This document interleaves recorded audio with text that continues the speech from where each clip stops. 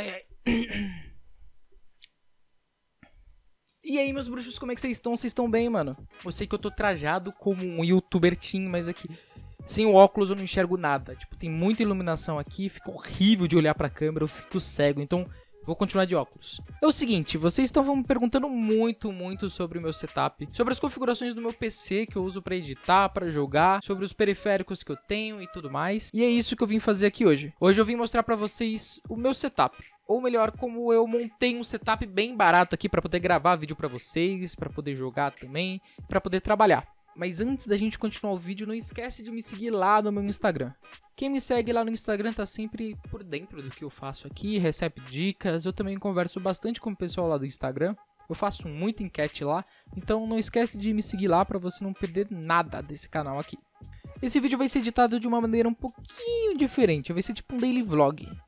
Porque eu gravei algumas partes de como eu montei toda, todo esse setup aqui, coloquei os quadros, enfim. Eu acho que vocês vão gostar. É o seguinte, eu tô aqui no meu quarto, vocês pediram muito pra mim fazer um vídeo sobre meu setup.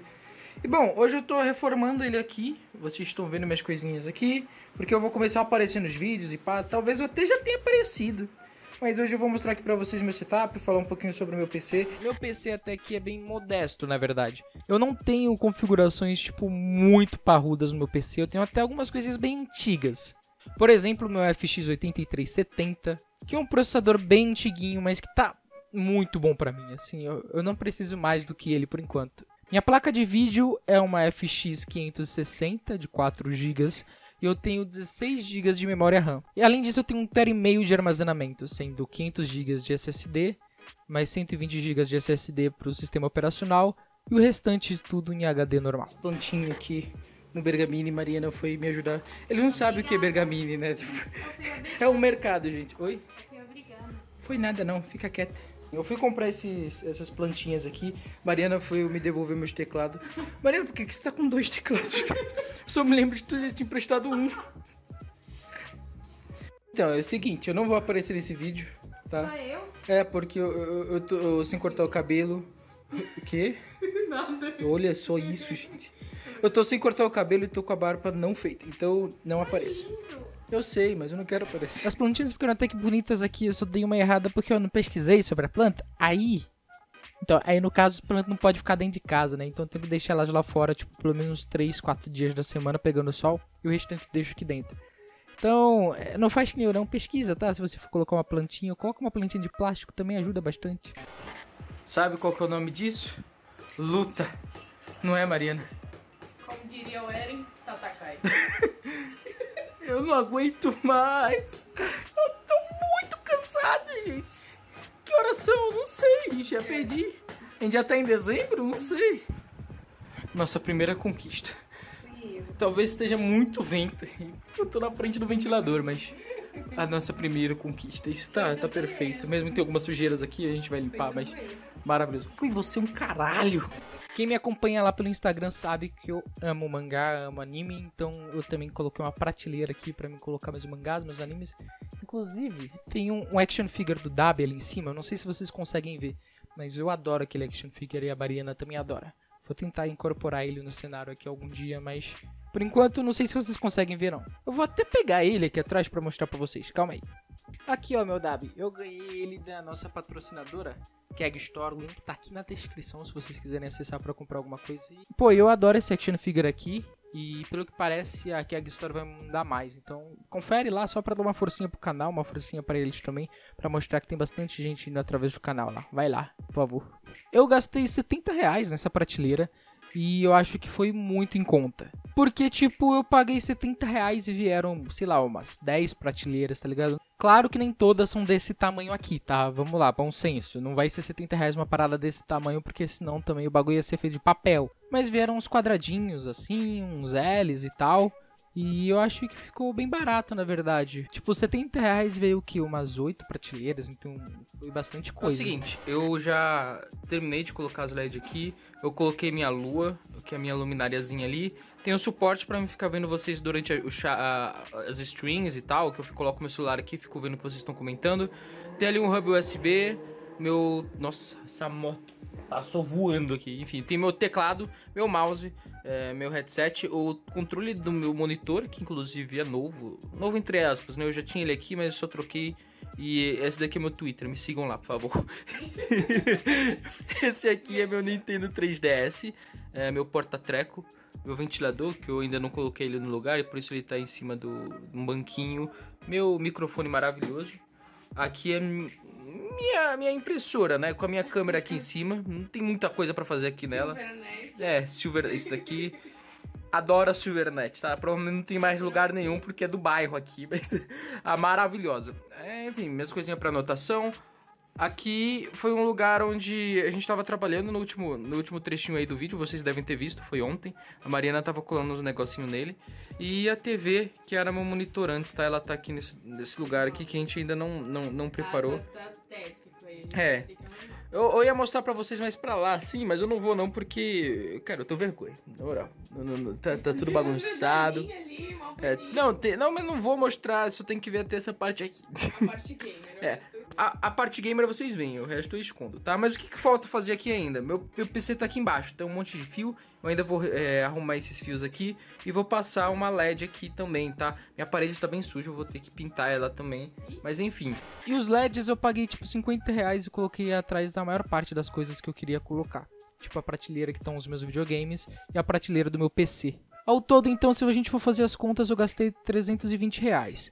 200 das prateleiras para fazer a bancada, 70 das prateleiras que eu comprei menorzinhas para colocar action figure e mangá e 50 reais para mim poder colocar os LEDs. Então foi bem barato. São três plantinhas e três vasinhos. A gente vai Só colocar. tirar elas daqui e colocar. É só tirar e colocar, não é? Mas tem que ter cuidado. Nossa, tá um vento do caralho. Tá bom, a gente vai tentar fazer isso aqui. A gente vai gravando se a gente tiver algum problema. Se a gente for colocar os vasos também, eu devo ter gasto ali por volta de uns 400 reais, porque os vasos foram um pouquinho caros. Eu gastei tipo 70 reais neles, então encareceu um pouquinho. Sobre os periféricos que eu uso, tá? Eu vou falar um pouquinho deles também. Eu uso um Red Dragon H510 Zeus Sakura Edition. E ele tem um nome muito grande e é bonito pra caralho. Tá, tá, tá sujo aqui. Calma aí. Ele é um headset muito espetacular, tipo, eu fico até impressionado. As almofadas dele são muito, mas muito confortáveis. Tipo, ele pode parecer sem fio, mas na verdade ele tem fio sim, tá? É que todos os periféricos dele também são removíveis, tipo o microfone e o fio, que a gente pode escolher entre um USB ou um P2, tá? Então, ele é muito bom e muito prático. É, mas uma das coisas que a Keg me deu. então, por favor, vão lá no site deles, comprem alguma coisa, então dê um alô lá no Instagram deles que já me ajuda bastante. O H510, que é esse meu headset, custa por volta dos 600 reais. Mas além dele, também tem um kit da OX para mouse e teclado. Que eu não lembro o modelo agora, mas depois eu posso colocar aqui na descrição para vocês. Mas é um teclado e um mouse maravilhosos, tá? Eles estão aqui, vocês podem ver. Eles são incríveis. Na verdade, não sei se conseguem ver porque pode estar desfocado, né? Enfim. Eu comprei uma câmera, mas é claro que eu não vou colocar ela no orçamento porque foi mais algo de gosto meu, tá? Eu podia muito bem usar um celular para isso, mas eu preferi usar a câmera mesmo. Até porque eu faço alguns outros trabalhos por fora e a câmera seria bem melhor para mim. Então eu não vou colocar a câmera porque ela não é necessária. O que eu comprei mesmo foram duas barras de LED que eu vou até pegar uma aqui, peraí. Aí. O que eu comprei mesmo foram duas barrinhas de LED iguais essa, essa daqui, tá? Essa daqui é azul. Eu tô utilizando a rosa aqui atrás. Eu comprei também dois ring lights, um de cada lado, o que tá fazendo a luz azul e o que tá fazendo a luz amarela. E além disso, eu comprei também alguns tripés. Ou todas essas coisas que eu comprei mais para poder me ajudar na hora da gravação, custaram por volta dos 300 reais, tá? Se a gente incluir esse microfonezinho aqui, custou 500 reais, mas o microfone também não é necessário por enquanto. Você pode comprar um microfone de lapela, por exemplo. Eu comprei esse mais pelo braço articulado, mas sem o braço articulado ele também fica bem barato, ele fica ali por volta dos 100 reais. Então vocês conseguem gastar 400 reais nesse kit aqui de iluminação, tripé e microfone. Então ao todo, se a gente for fazer as contas, eu gastei cerca de uns 800, 700 reais. Fora o frete, tá? Porque o frete é bem variável, dependendo de onde você mora, dependendo da sua região, enfim. Aqui eu moro em São Paulo, então geralmente é mais barato. A gente terminou de colocar. Aqui tá o Superman, Batman, Deadpool, Pantera Negra, Homem de Ferro, Capitão América. A Mariana se matou pra poder conseguir tirar a fita dupla face, mas deu tudo certo. Tá tudo perfeito. E agora falta uma coisa muito legal que tá esperando, que vai ficar bem aqui, ó. É a caixa maior que tem aqui e a gente vai abrir agora. Já terminamos. Colocamos ali o quadro. Mariana está muito feliz. Mas o quadro ficou até que legal. Ela tá com essa cara aqui porque eu falei que a gente vai ter que repintar ali, ó. Tá vendo aquele buraco ali? Foi por causa de uma... Não, não foi burrice, tá escrito no anúncio, tava falando no anúncio. Que dupla face dava pra colar aquele quadro, mas não dá não. Vou reclamar depois, hein? Vendedor que me vendeu esse quadro. Eu preciso finalizar esse vídeo porque a bateria da câmera já tá acabando, mas enfim. Eu não gastei muito nessas coisas que eu comprei, não gastei muito montando esse estúdio.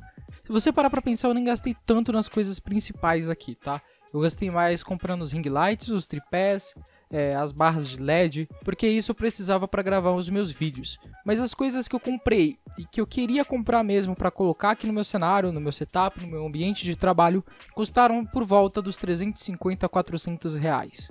Então foi muito barato. Se vocês planejarem bem o ambiente que vocês querem trabalhar ou jogar, vocês conseguem fazer uma coisa bem legal. Eu vou até colocar um puff aqui para ficar melhor para me jogar na hora que eu for jogar e tal. E isso é uma experiência muito legal para vocês aprenderem a moldar, tipo, o ambientezinho de vocês, tá ligado? É muito gratificante você ter um espaço para você e você poder montar ele todo assim da forma que você quer. É muito foda. E eu agradeço muito mesmo a vocês, tá? Eu espero que esse vídeo seja um marco aqui no canal. Eu quero começar a investir mais no canal, quero começar a produzir mais vídeos para vocês, ajudar vocês de alguma forma, fazer vocês rirem, não sei, eu quero de alguma forma estar presente aí junto com vocês com pessoas que me ajudaram tanto. Você que é novo no canal e não sabe, eu tô no YouTube há mais de 5 anos. Tudo que eu tenho, tudo que eu conquistei, o meu trabalho, todo esse ambiente que vocês estão vendo aqui foi comparado com dinheiro de coisas que eu aprendi produzindo conteúdo para vocês, tá ligado? Tipo, editando vídeo, editando coisas no Photoshop, fazendo páginas, tudo o que eu sei hoje é graças a vocês e ao YouTube. Muito obrigado a todos vocês. Não esqueçam de se inscrever no canal, ativar o sininho e me seguir lá nas minhas redes sociais, no Twitter, no Instagram, pra gente bater um papo e vocês tirarem algumas dúvidas sobre hardware, como muita gente faz, ou só conversar mesmo. Às vezes conversar é bom, né? Enfim, eu vou ficando por aqui. Até mais, meus bruxos.